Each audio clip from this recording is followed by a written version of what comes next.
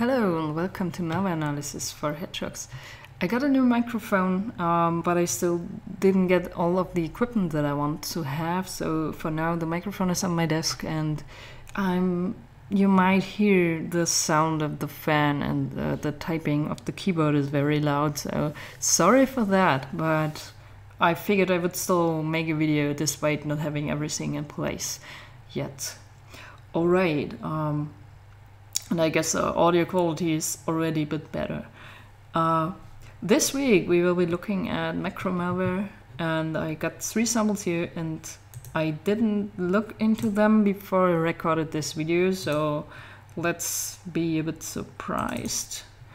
Um, I downloaded oletools um, which is a great collection of tools to analyze macro malware and here are some of the tools of Python scripts. So you need Python 2.7 for that. Um, all right, let's try this. Open command here.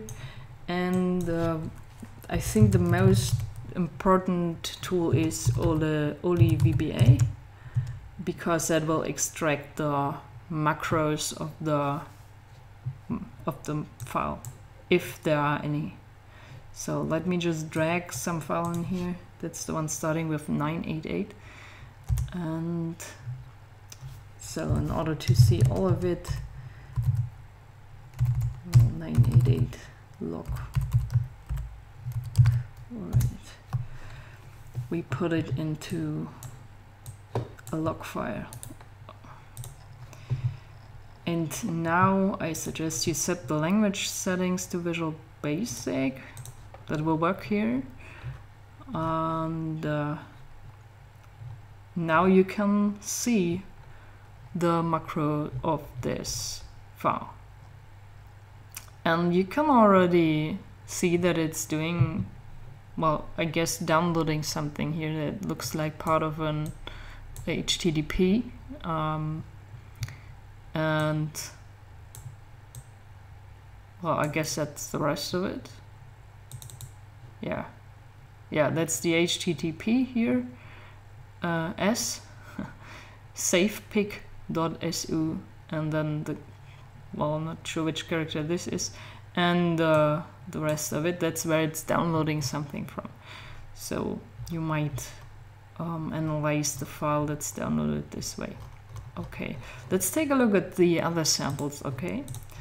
Um, so python Oli VBA and the 244 sample 244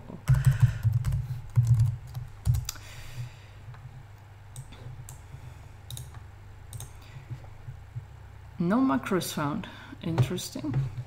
Well we, we might take a look into this later. Maybe it's uh, but it says it's an OLE file okay and uh, no. And the missing one is the 4AD something.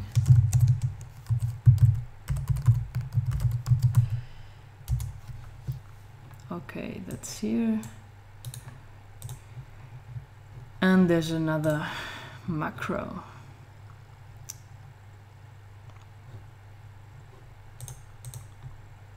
all right.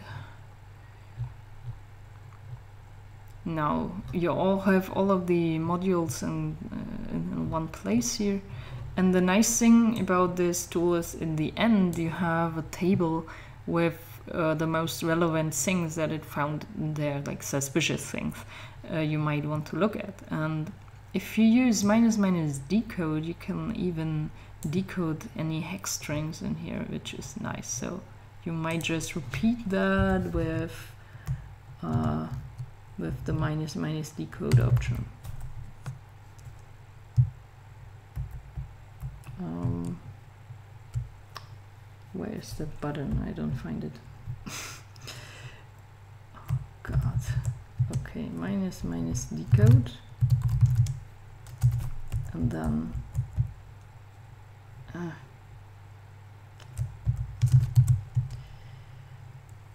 and then that's the 4AD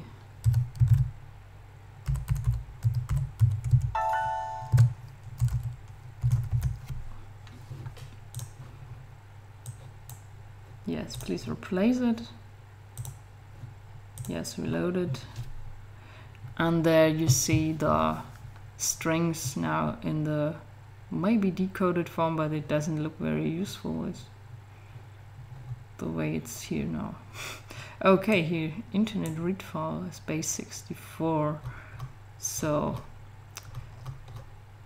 it does it does something we don't know yet what it is mm -hmm, mm -hmm.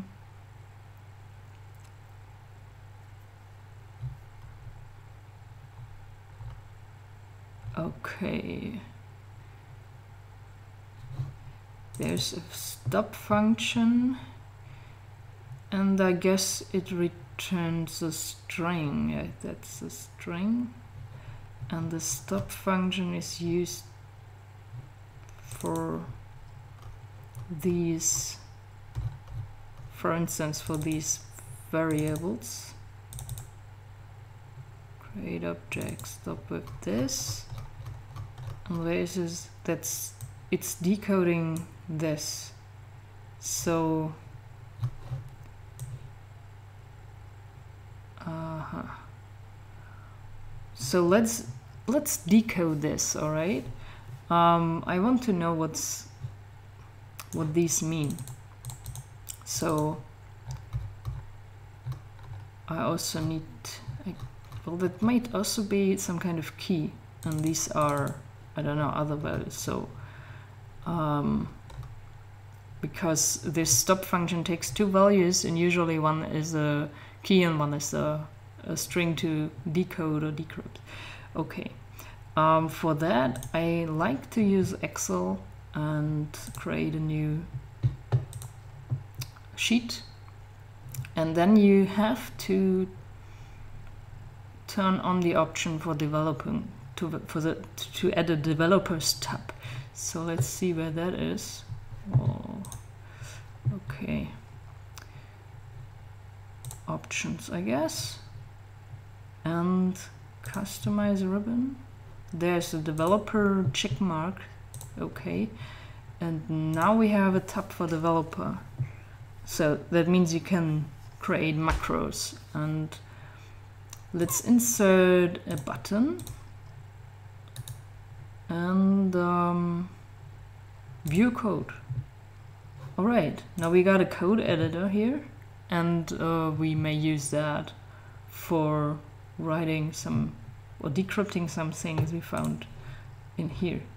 Uh, for instance, this. So let's copy this in here and this returns a string. Ah don't go go away with that. Um range. So let's say a two value is that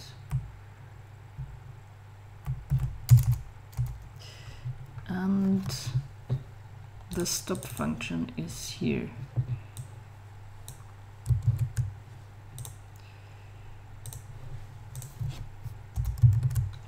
All right. I'm not sure if this works. Let's just run it. Now, where's the sheet? Okay that is this is design mode I think. Ooh. no please. Please turn it off. Yeah. And now if I press this compile error. So there's some mismatch. Ah, of course I didn't set these values. Uh, which is kind of stupid. So the first one was this and uh, the second one might be any of these, I guess. So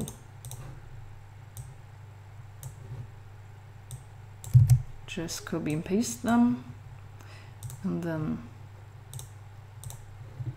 there it is. Uh, that's a decoded string now, scripting file system object, and it puts this upon uh, clicking on the button, it puts this into A2 of the worksheet. And um, you can do the same for the other strings you want to decode, which is quite nice. So um, let's put this into 4 and we copy this instead of the other one and I guess those are worth looking at as well um,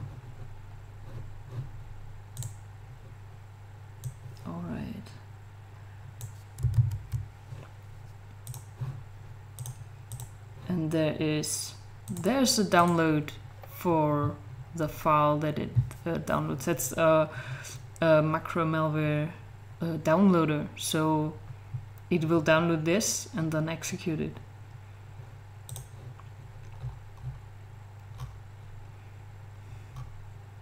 Interesting. Now these are still missing. Let's see where they are used. Also here the stop function, of course, and here's also an open um, command. So uh, I believe that's indeed the way it is, and also the these functions they they tell you that there's some internet connection and uh, URL open so um, okay let's also check these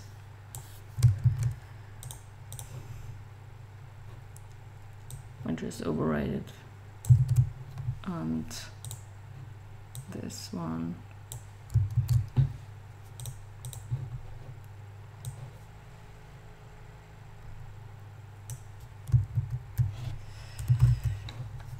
and run it.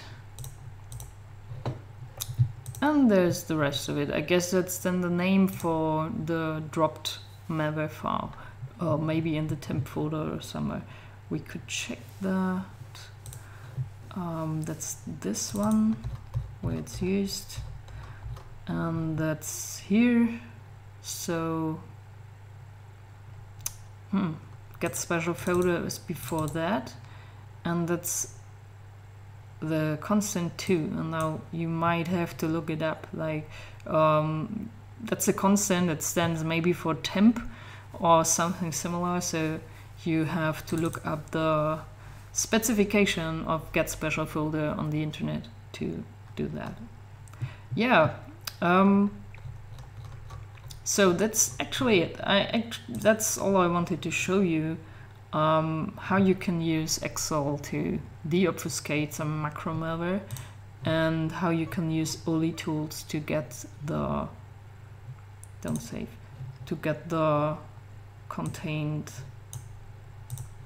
uh, VBA code. Alright, then there was some this one here, there was no macro found. I don't know what's up with it. Um, but I told you I didn't look into them before. Maybe there is no macro. Could be that this is a clean file and I didn't. But that looks... That doesn't look clean, right? okay. Um, that... Wow, like... The, the evil is staring into my eye. I don't know what that is. Uh, why it says it can't find any macros because it somehow has to execute that stuff. But just by seeing this, you will also realize um, even if you cannot extract anything from it using certain tools, um, it's worth opening in a hex editor and just to look into the file. And sometimes you might find macros in there. You can clearly see that there are some, and sometimes they just might not be referenced or uh, something else is is wrong, so that the tools might be buggy. Uh, you never know. So usually um, you can see the code or parts of it. It will kind of be. Usually it's not that clear as it is here, um, but but a bit weird. And but still you can you can make sense of out of it in the hex editor so. Okay um, that's already everything for today. Uh, I hope that next time the audio will be even better. Not sure yet. Okay um, thank you for watching. See you next week I hope so bye bye